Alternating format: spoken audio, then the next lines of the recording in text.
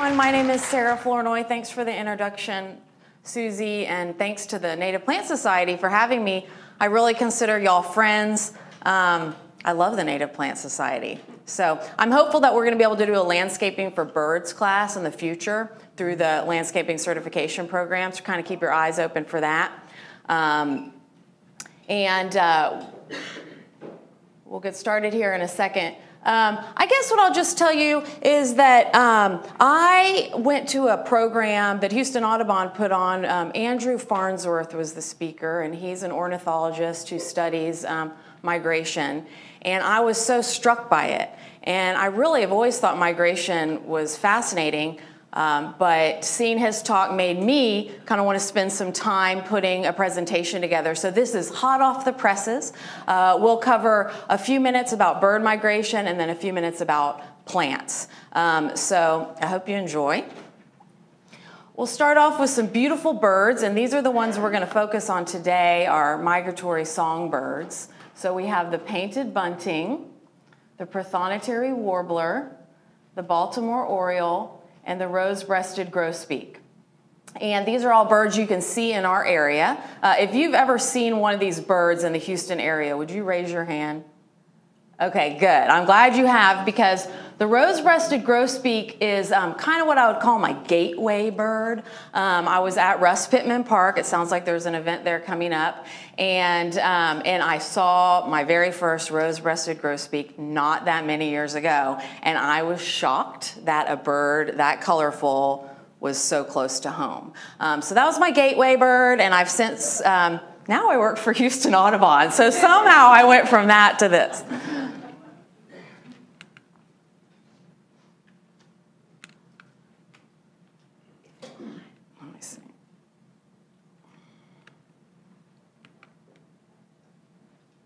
So the quiz question for today, I got it working, thanks so. Um, the quiz question for today, how many birds migrate in and through the US each year? Is it thousands? Is it millions? Is it billions? Or you must be kidding me. How are we supposed to know that? Um, we are just now really having good data that can tell us the answer to that question.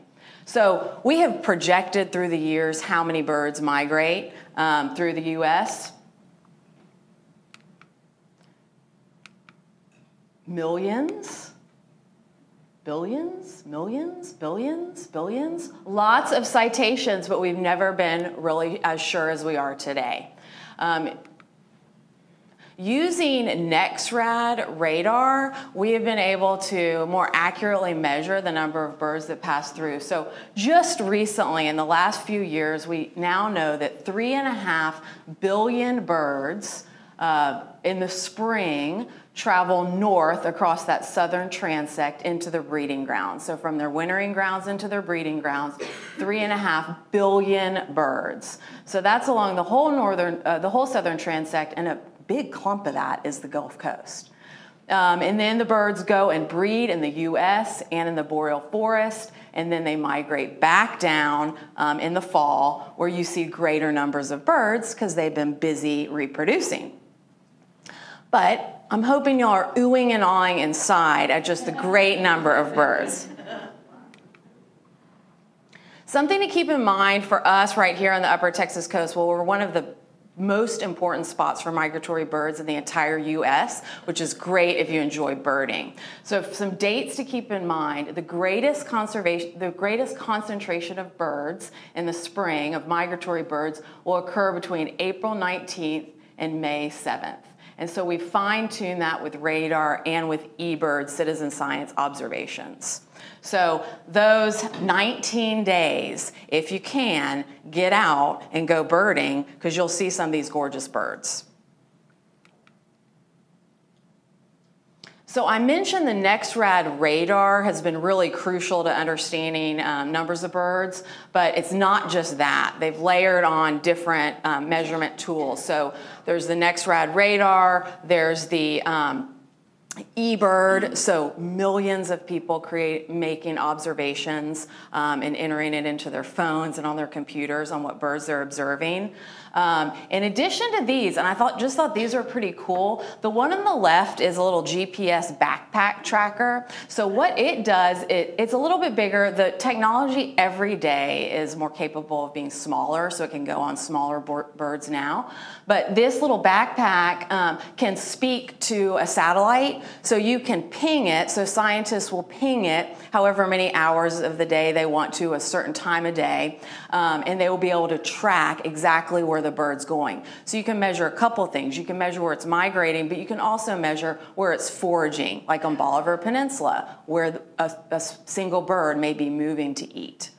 Um, the technology on the right is Motus. Um, so this is a smaller little receiver um, technology that's placed on a very small bird. It's lightweight. It has an antenna. And so when this bird um, travels within eight miles of that tower, the tower will ping it. It will know um, whoever banded the bird in this new technology, with this new technology, will then be able to go online and tell where that bird passed within eight miles. Pretty cool. So why do these birds migrate? Why are they moving through? Uh, probably many of y'all know this, but um, it's food. Their, their primary reason is they're, they're looking for a food source.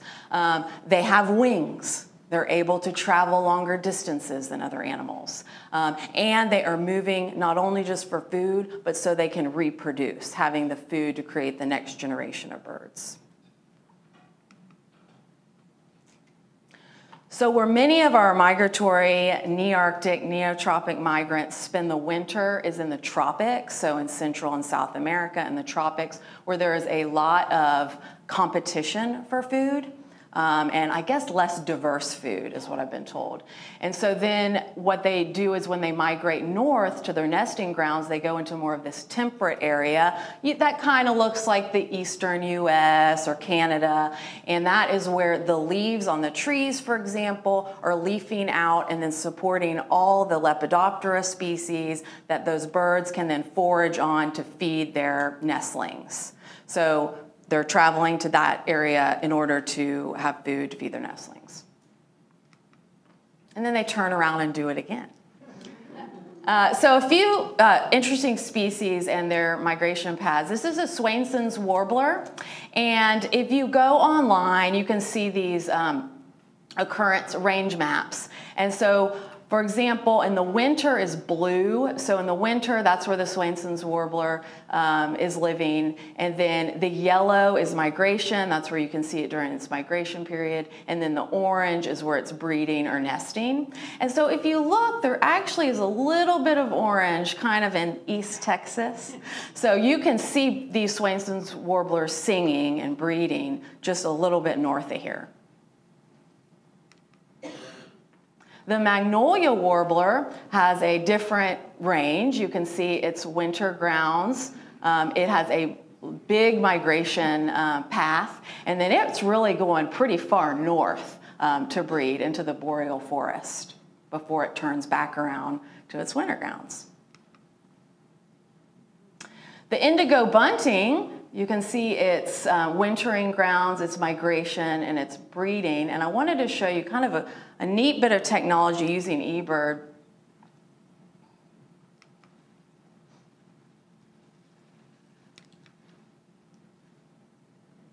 Hmm. Okay. Well, let me see if I can, hold on just one second.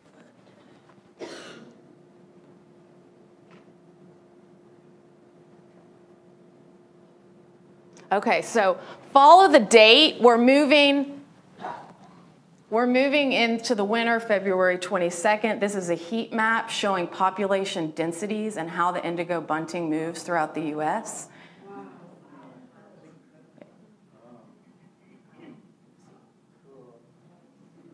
So it's migrating through the springtime. Some birds are reaching their breeding ground.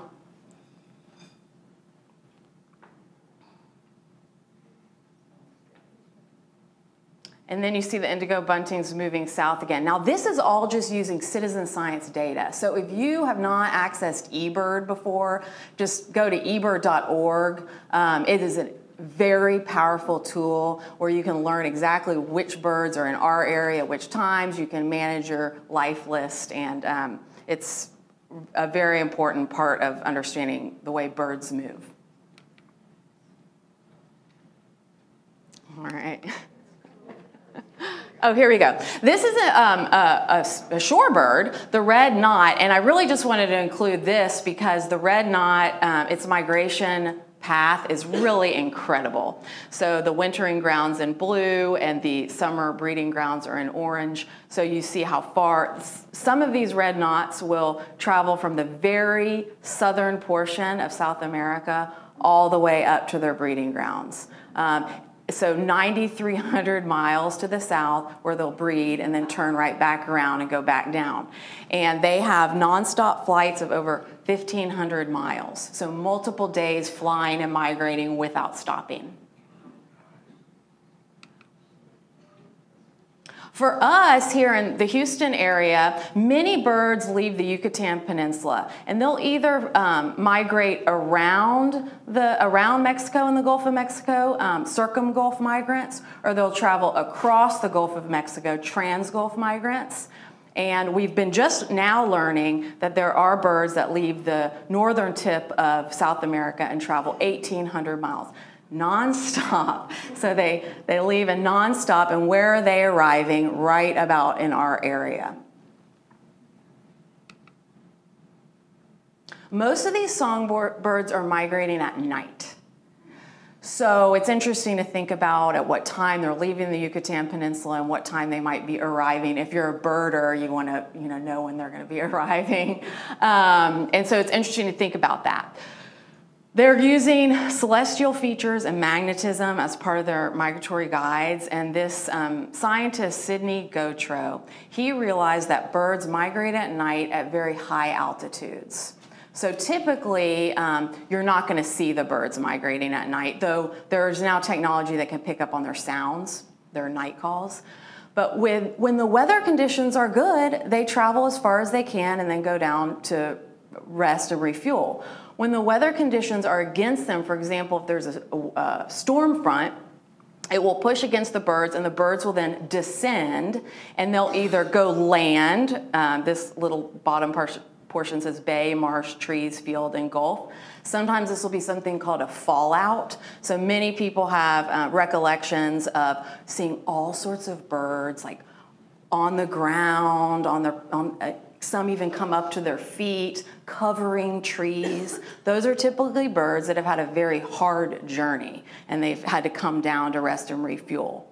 Um, but it also this happens with storms. Um, so what what we were trying to do is educate people that birds do migrate at night and that if we want to help birds, it's important to keep our light um, limited. So when birds are migrating at night and they hit a storm front and they come low, lights cause disorientation and birds may um, collide with buildings or continue to fly around in circles because they can't escape the light. Um, and then they tire out and die. So we have an action alert program where people can sign up. This is one in the fall. We also do it in the spring where people can sign up and um, pledge to turn out their lights. And we're really we're really trying to get some of the buildings in Houston to get on board with this. Galveston has had some good success because they had a, um, a bird fatality, and actually it was a tragedy, but it ended up being a really good education opportunity. Birds also do migrate in the fall back south. It's a longer migration. So we're in spring, it's really concentrated. In fall, there's um, birds are spread out over more days. And then it's also, if you're a birder, it's a, um, a special challenge, I'd say, because if you look at that bird in the lower right hand corner, that's a chestnut sided warbler. Well, as a matter of fact, that same bigger bird right there is a chestnut-sided warbler. So it's in its fall, more juvenile plumage. And so if you get bored with identifying the um, chestnut-sided warbler in the spring, you can bird in the fall. I wanted to make the point that when we talk about helping birds, my, my usual presentation is just about all the way we can help birds at home and on all scales in Houston. Um, but when we help birds with plants, you're helping your resident birds too. So these are the birds we're seeing year round. So these are cardinals, blue jays, our owls, our chickadees, our woodpeckers. Um, they're, they're here, you know, they winter here, they nest here, they breed, they have they, their babies here. Um, and so when you help migratory birds, you help all birds. To hit home that not all birds are here at the same time of year, this is a graph um, graphic from eBird. For example, look, and I think this is from the Arboretum. I think I took this from the Arboretum. So you can see, for example, that um, the Blackburnian warbler, right there in the middle, has only been observed in early May where the pine warbler has been seen almost throughout the entire year. And the northern cardinal has definitely been seen throughout the entire year. So you can generate these things easily on eBird and it can help you kind of know what you're going to see when. I wanted to invite you, if you're intrigued, how many of y'all would call yourselves birders? Like whatever that means to you, you'd identify yourself as a birder. Okay, so I'm hoping most of you then have been to High Island, um, but if you haven't, Houston Audubon has 17 sanctuaries in the upper Texas coast. And the where it says Boy Scout Woods and Smith Oaks, those are our world famous High Island um, sanctuaries. And in the spring, it's a blast. Um, so the, the classic birding routes that I think are more pretty much a full day is you go east out of Houston, go to Winnie, and then go south and Winnie to High Island um, you can hit the High Island sanctuaries and see what all that's about. And then you can go south along the Bolivar Peninsula to Bolivar Flats Shorebird Sanctuary. A lot of people, I happen to have a certain fetish for songbirds, migratory songbirds, but a lot of people like um, shorebirds. And you can um, explore the shorebirds there and see the beach. And then you can take the ferry across to Galveston explore some of the Galveston sanctuaries if you like, and then head on back home. That's like a real classic route. The other alternative route is Winnie south to High Island and then just go right on back up to Anahuac National Wildlife Refuge, which has wonderful birds as well. So I'd encourage you, particularly in that 19 day time period, if you have a day to go exploring, I'd recommend it. At High Island, which is a salt dome and has interesting plant communities, um, we, Houston Audubon, spent every day is doing habitat restoration uh, to support these birds that need um, the, these places.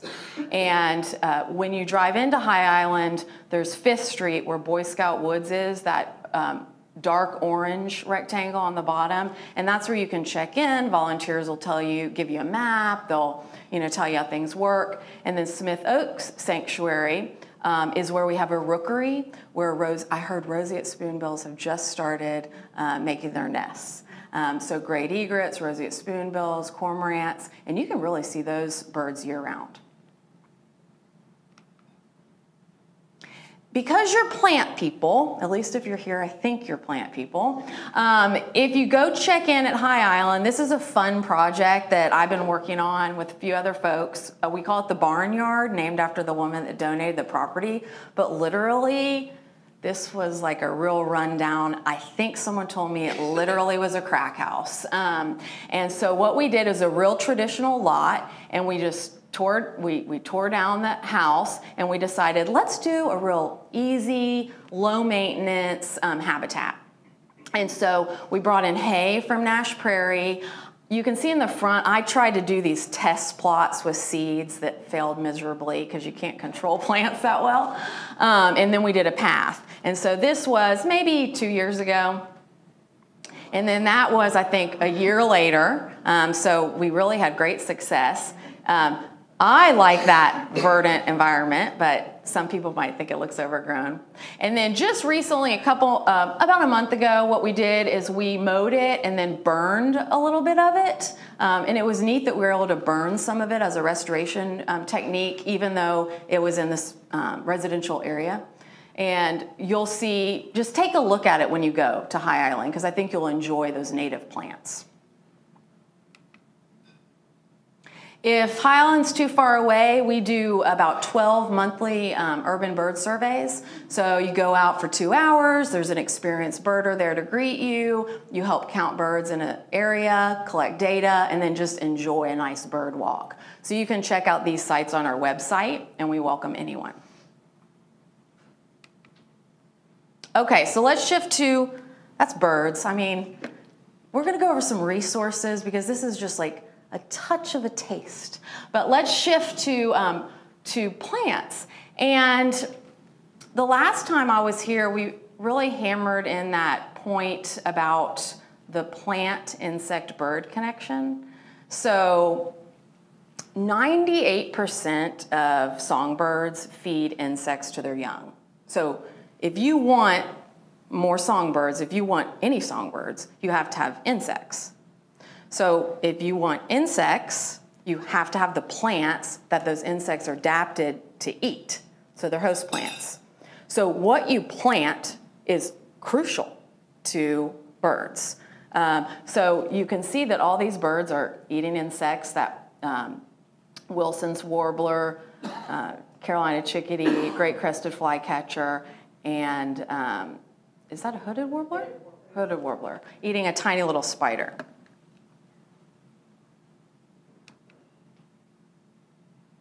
So I'd like to propose two concepts for y'all to consider.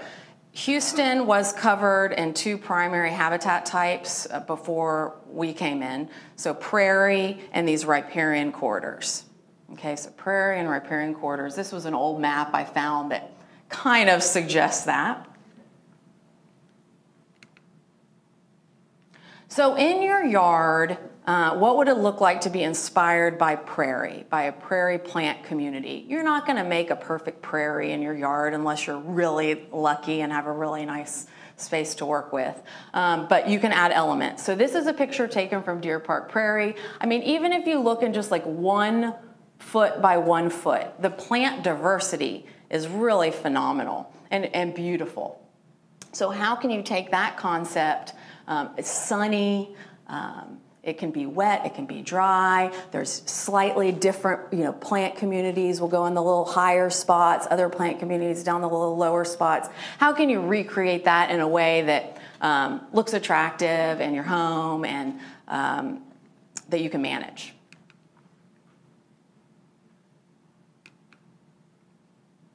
So if you, you might create a sunny, cheery patch. So what I'd like to do is start at the bottom. So I'm suggesting that you consider um, ground cover instead of mulch, so a green mulch. So some ground cover options might include frog fruit, spot flower, or lyre leaf sage. So that's gonna, that's gonna cover up your weeds, so um, you don't need mulch. And then you can add your um, sunny, cheery flowers, your black-eyed Susan, Texas coneflower, wine cups, blue sage. You might, you know, be a little adventurous. What speaks to you? You might want to add a swamp sunflower, a little blue stem, um, or one of the goldenrods. And then you might have a place for a vine like coral honeysuckle or crossvine. But the idea is that you're inspired by prairie and that you're building in layers. So here are what some of those plants look like. The bottom layer here is your lyre leaf sage that's blooming right now all around town um, the Texas frog fruit in the middle, the spot flower on the right. And spot flower is a really little flower. That picture makes it look really, the bloom look really big. And then the nice wildflowers um, like the black-eyed Susan, the blue sage, the wine cup, and the Texas coneflower. And then the add your own independent spirit plants, the Maximilian sunflower, the little blue stem, goldenrod. Do we know what kind of goldenrod that is? Anyone? Anyone? And then the um, coral honeysuckle. Here are some examples of people in Houston that have taken this concept. Um, on the upper left, some of y'all might know Betsy Black. She has a great yard in Bellaire um, that just transforms. Every month it looks different. And then Russ mentioned Lauren Simpson, the garden on the right, who is um, a phenomenal leader um, in native wildscaping. And then um, I think this was Aaron Stoley's garden in the lower left, um, who loved wildflowers. Maybe you have a shadier environment and it might be more appropriate to be inspired by a riparian woodland. This is the Columbia Bottomlands. So here it's dappled shade. A woodland does have sun. I mean, it's not just complete canopy cover. So dappled shade um, and some leaf litter that birds love. Same concept. Start with your functional ground cover, your Virginia creeper, lyre leaf sage, Salvia coccinea. Add your mid layer, narrow leaf wood oats, Sabal minor, Turk's cap, American beautyberry, and then add your small trees and large shrubs, parsley hawthorn, Mexican plum, wax myrtle, and yaupon, creating that layered system. And here are some pictures the lyre leaf sage again on the bottom, the salvia coccinea, bottom middle, the Virginia creeper, bottom right, and then that mid layer, the Sabal minor, the narrow leaf wood oats, the Turk's cap, and beautyberry. And then the small trees and shrubs, the yaupon, the parsley hawthorn, and the wax myrtle. A special shout out to wax myrtle. Um, so I have in my garden, um, I actually am redoing my landscape. It started from scratch, and so we planted our yard in August, and it has been so exciting seeing all these things leafing out. Um, but we planted three wax myrtles and we decided to clump them together to create almost like a wax myrtle thicket. And then we put a little water feature that's just literally like a, a shallow tray of water underneath those and we get so many birds in the wax myrtles, including the myrtle warbler. So this is a, a bird that winters here. It's um, called a yellow rump warbler, also a butterbutt, because it has that uh, yellow on its on its rump there. Um, but the myrtle warbler obviously is named myrtle warbler because it likes the wax myrtle. So while this is less of an insect connection, I think it's eating the um, fruits of the seeds of the wax myrtle. And I would be remiss if I did not show this chart, Doug, Chal- Doug Tallamy chart. So when we're talking about the plant, insect, bird connection, um, trees have such a significant biomass. So let's just look at this chart here. If we know that we need plants that support um, insects, Lepidoptera, caterpillars, then we might as well plant trees that do that. So our oaks and our cherries, plums, willows, they're supporting 532, 445 species of Lepidoptera. That's a lot of insects. Or if you go on down to some of our non native plants that our landscapes are covered in, honestly, um, like your uh, crepe myrtle only supports three.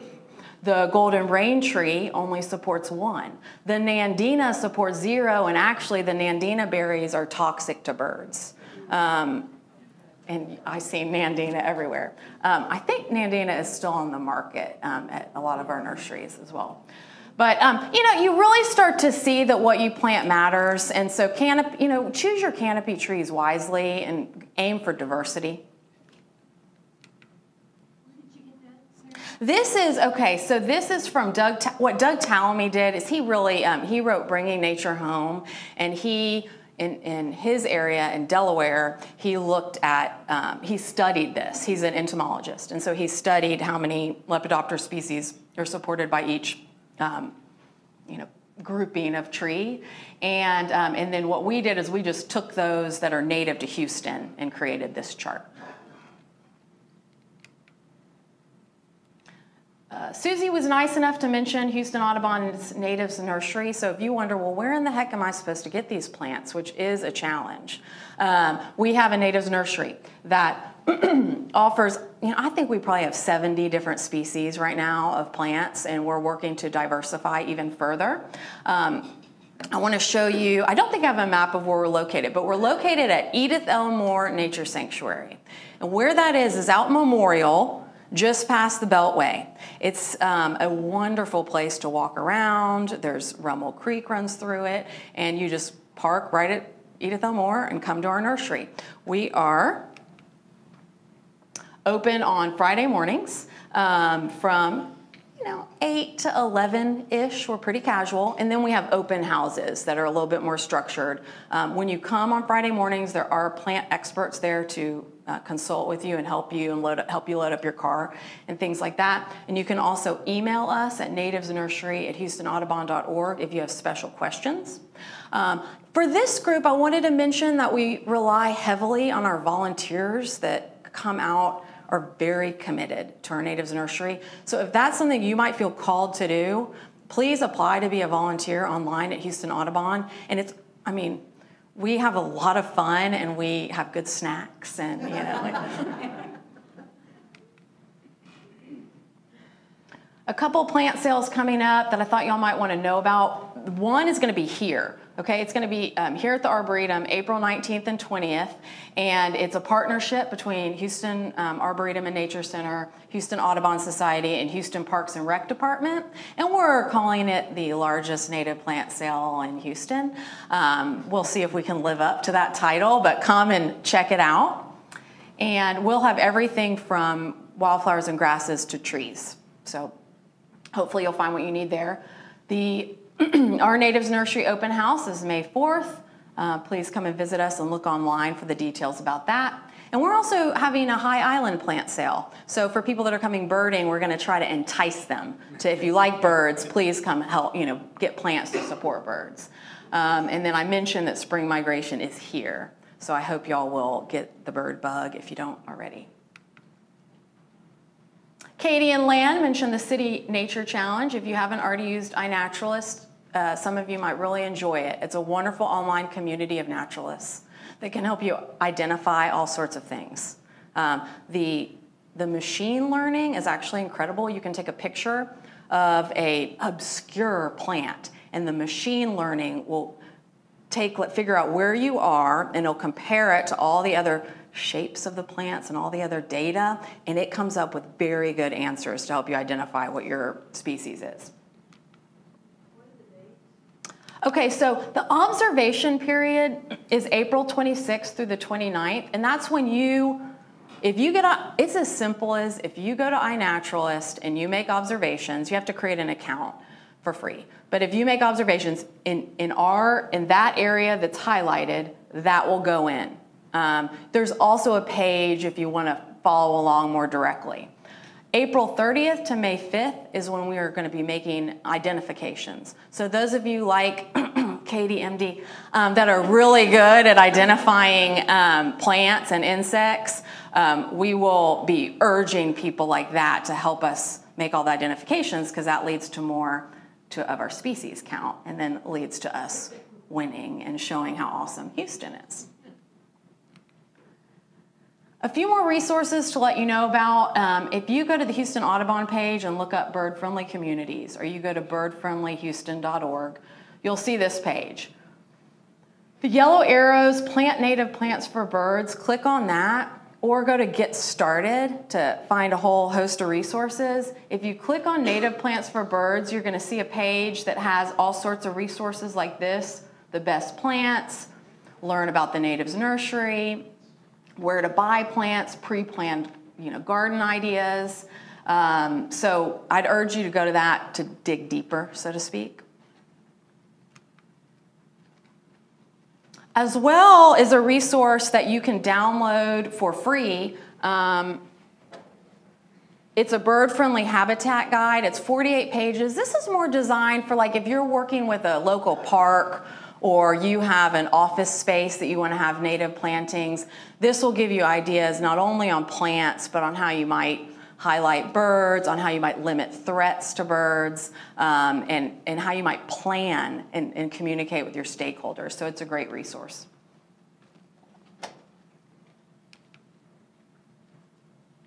I wanted to mention a few more resources, um, including planting in a post-wild world. At the bottom it says designing plant communities for resilient landscapes, and that's what we were kind of talking about with the sunny and the woodland um, examples, resilient landscapes and plant communities. It's not just like one plant, plop, it's about what plants you're putting together that we're after. So this is Planting in a Post-Wild World by um, Thomas Rainer and Claudia West. I'd also recommend Garden Revolution by Larry Weaner, How Our Landscapes Can Be a Source of Environmental Change. Wally was about to give this book away to someone, but this is a book that um, was kind of a, I guess this was a gateway plant book for me because it tells great anecdotes about how plants were used historically. It's really interesting. Remarkable Plants of Texas. Don't forget to get a field guide. These are available online, or I like a paper copy because I like to flip through it really quickly to see which bird looks most like what I'm, what I'm uh, observing. I think everyone knows Bringing Nature Home, but if you haven't read this, this is a primer. Uh, we call it uh, talamizing or speaking the Talamaic vision um, because Doug Tallamy has made such a difference for our community. And then I've got two Houston Audubon resources here, simple things that you can do to help birds, keeping our eyes on the birds. You could get that up here. And then a plant list, bird-friendly plants. And you can take this to your, um, you know, your who, whoever you like to buy plants from. Um, and we sell many of these as well.